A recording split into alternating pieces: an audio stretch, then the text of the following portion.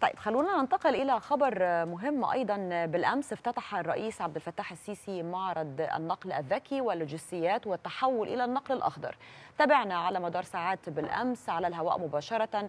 الفعاليات وتابعنا مشاركة كثير من الجهات المختلفة يعني ما يتعلق بمنظومة النقل ومركبات الحديدية. تابعنا أيضا ما يتعلق باللوجستيات وكيف تتحول مصر إلى النقل الأخضر مراعية البيئة ومراعية أيضا التنمية المستدامة التي نتحدث عنها دائما.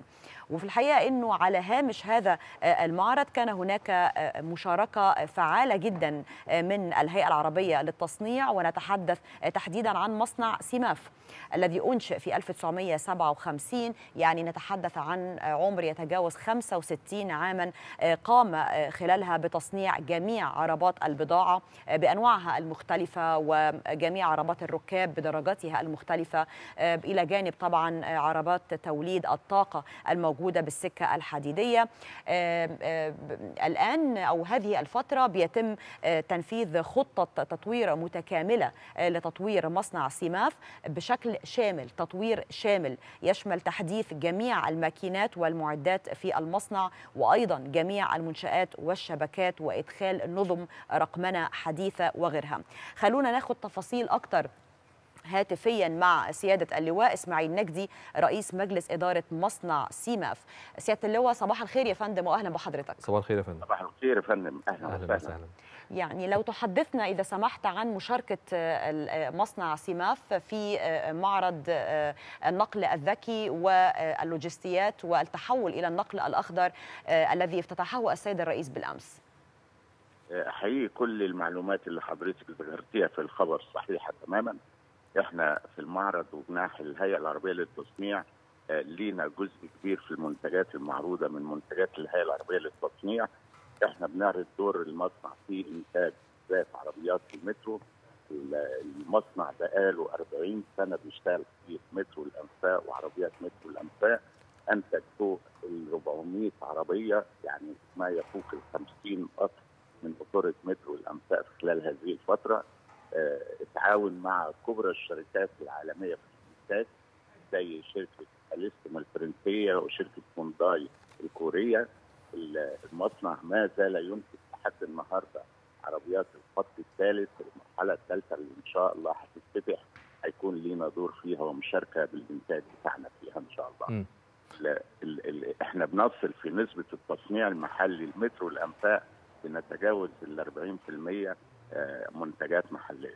آه برضو آه عرضنا الدور بتاعنا في إنتاج عربيات السكة الحديد زي ما حضرتك ذكرتي عربيات البضاعة ودي بننتج آه شركه الجزء المحلي اللي فيها يفوق ال 80% هي وعربيات توليد الطاقة. وعربيات الركاب بأنواعها المختلفة. إحنا بنتجاوز ال 50% برضو عرضنا تطوير مصنع سماف والامكانيات اللي بتتوفر النهارده في مصنع سماف ويمكن أضرب لسيادتك مثل للجمهور واحد بس من اللي بيحصل في المصنع لأننا بنقلب وبنعمل ثورة تكنولوجية في مصنع سماف تماما عشان يجاري المصانع في العالم. إحنا النهارده وصلنا مكنة هي ثامن مكنة في العالم. دخلت سبع دول قبلينا أوروبية وأمريكية. في الرقم ثمانيه وديت أول نوع من هذا المكن يدخل مصنع سمات أو يدخل مصر ويدخل منطقة الشرق. اللي إحنا بنشوفها حاليا على الهواء يا سياده اللواء. فندم؟ بنشوفها حاليا على الهواء المكنة اللي حضرتك بتشير ليها. أيوه تمام. دي متخصصة في إيه يا فندم؟ هي مش لصناعات السكك الحديدية بس. لا المكنة ديت بامكانيات عالية جدا.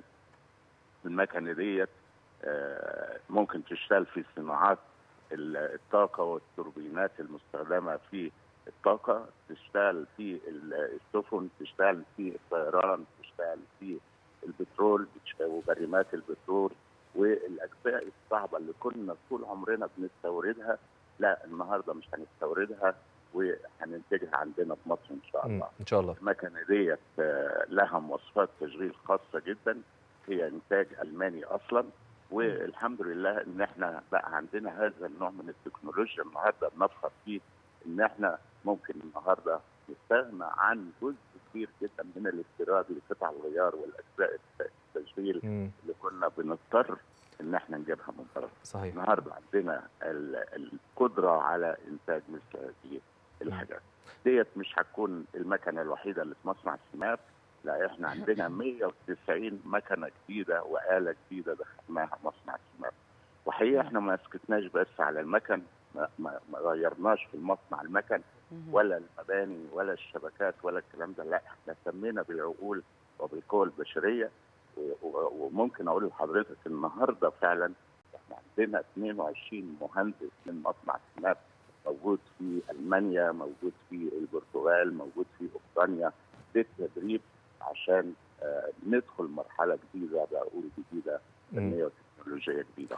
طيب آه، من المعروف يا سياده اللواء ان الهيئة العربية للتصنيع هي اللي بتقود قاطرة قطاع الصناعة في مصر مش بس دلوقتي لكن حتى منذ إنشائها ممكن في الخمسينات أو الستينات من القرن الماضي. مصنع سيماف هو واحد طبعا من الشركات التابعة للهيئة العربية للتصنيع. آه، والهيئه العربية للتصنيع بشكل عام لها إرث صناعي مش بس في مصر لكن في إفريقيا والشرق الأوسط لدرجة إن آه، القطارات اللي بتنتجها أو بتنتجها شركة آه، آه، سيماف لم تسجل لها أي حادثة على مدار تاريخها. تطوير شركة سيماف فيما يتعلق بإنتاج القطارات. أنتوا لحد السنة على ما أعتقد كنتوا بتنتجوا 300 عربة قطارات مترو انفاق مش كده؟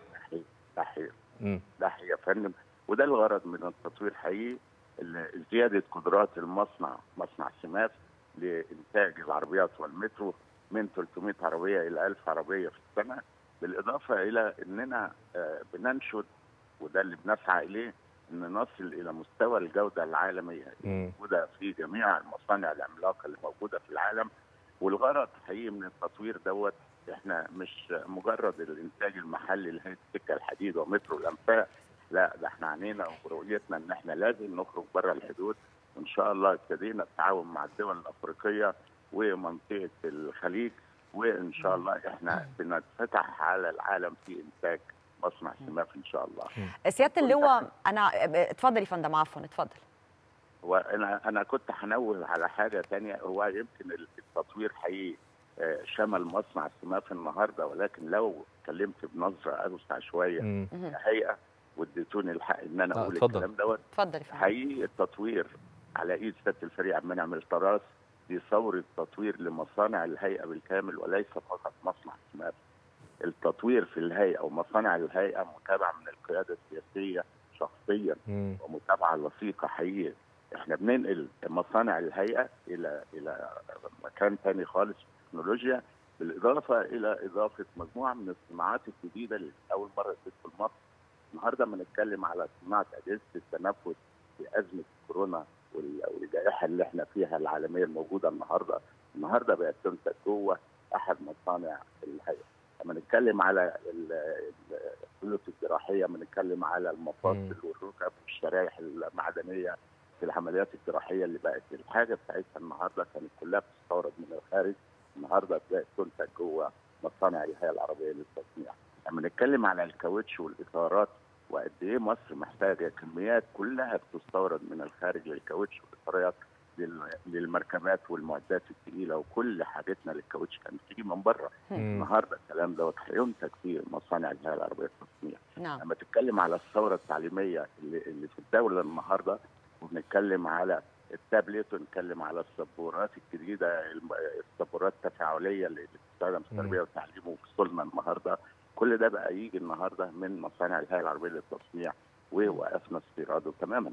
مم. أنا عايز أقول إن الثورة دي فعلا ابتديتها كقاعدة صناعية كبيرة أكبر قاعدة صناعية في مصر هي الهيئة العربية نعم. للتصنيع.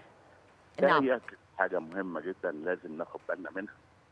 حقيقي يعكس الاستقرار اللي إحنا فيه. إحنا النهارده بقينا نجري مع العالم. الاستقرار السياسي الموجود في البلد المناخ الاستثمار الموجود في البلد لا ده في حاجات كتيرة جدا ابتدت تبان لعيون الجمهور والناس والرأي العام. نعم. سيادة اللواء اسمح لي. أقول لحضرتك.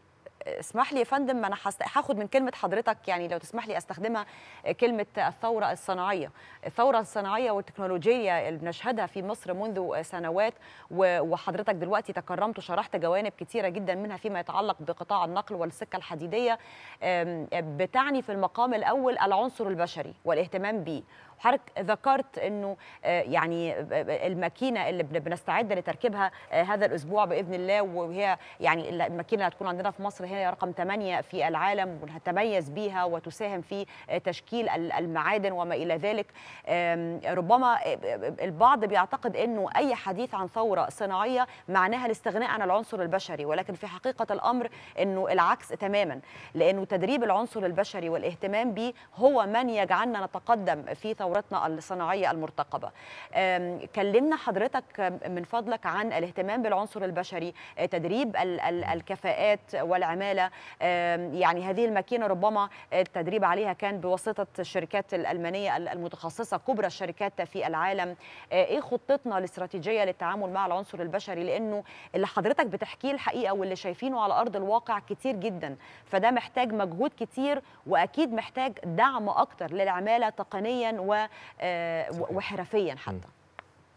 اللي اللي قلتيه حضرتك كله تمام سليم. آه الاهتمام بالعامل البشري ده عنصر مهم جدا في التطوير وفي الثورة الصناعية الثورة الصناعية ما استغنتش عن العقول وعن العمالة لأن هي اللي هتشغل الآلات والمعدات الحديثة اللي إحنا بنجيبها النهارده لازم نرتقي بمستوى التفكير ومستوى الأداء للعناصر الفنية ومهندسينا على جميع الصناعات الموجودة عندنا النهارده.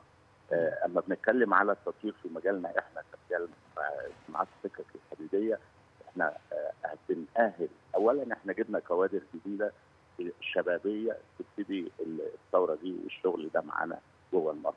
الحاجة الثانية إحنا يمكن من أهم الصناعات الصغيرة اللي موجودة عندنا هي صناعة اللحام. مهنة اللحام من المهن الرئيسية زي مهنة صحيح. الدهان مهنة التشغيل والتقطيع. دي الأعمال الرئيسية اللي في صناعات السكك الحديدية. النهارده جميع اللحامين بتاعنا لازم يبقى حاصل على الشهادات الدولية في اللحام على أعلى مستوى في أداء المهمة بتاعته. بناخد دورات محلية متعمقة في اللحام. وبعتنا زي ما قلت لحضرتك 22 واحد أساس تدريبهم بره التصميم. وده بند مهم جدا وأعمال اللحام في نعم. مجال السكه الحديد نعم. شكرا جزيلا. شكرا ليك يا فندم. شكرا جزيلا لحضرتك. سيادة اللواء إسماعيل نجدي رئيس مجلس إدارة شركة سيماف التابعة للهيئة العربية للتصنيع على كل هذه الإيضاحات وهذه المداخلة. والحقيقة أن الهيئة العربية للتصنيع زي ما قلت في البداية لها إرث صناعي كبير سواء في الصناعات العسكرية أو حتى في الصناعات المدنية منذ الستينات والخمسينات حتى اللحظة خصوصا بعد تطويرها.